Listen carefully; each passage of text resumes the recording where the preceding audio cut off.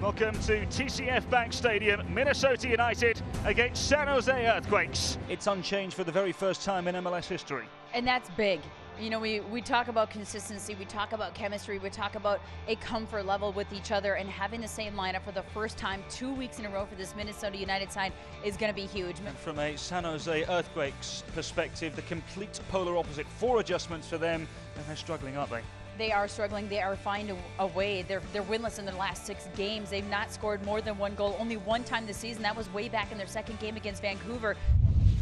Jahmir Hyka with the head of Wondolowski to the feet of Cato.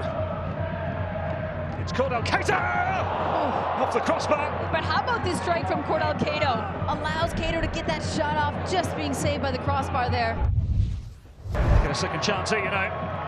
Ramirez. Molino oh, takes a tumble. It falls to Ramirez. Oh, Cato is there in the nick of time for San Jose Earthquakes. Yeah, but Ibson slots his ball through. A nice little heel pass. Cuts inside. I mean, he's basically just 100% obstruction. Jahmir Hyka. Footed crossing towards goal, and it's straight down the throat of Bobby Shuttleworth. Jungwirth Hyka's ball in. Well, it's a fine save from Shuttleworth at the near post to readjust his body, reassemble the situation. Hyka's ball in. To the back post, across and in. The Earthquakes snatch the lead at TCF Bank Stadium. It's the boy from the rear guard who puts the Earthquakes in front. Florian Jungwirth with his second goal in Major League Soccer. Ball and headed towards goal. It's not too far wide, you know.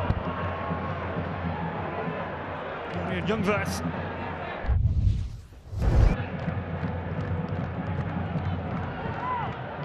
Doi into the feet of Hyka. Here's. Oh. And it's a really stern save at the near post from Bobby Shuttleworth. Marco Ureña denied. Corner fizzed into the near post. That's forward and cleared off the towards the danger zone, and the Quakes clear their lines. Miguel Ibarra. The hits go up towards goal. Woodward denies Minnesota United a sumptuous moment. Calvo again.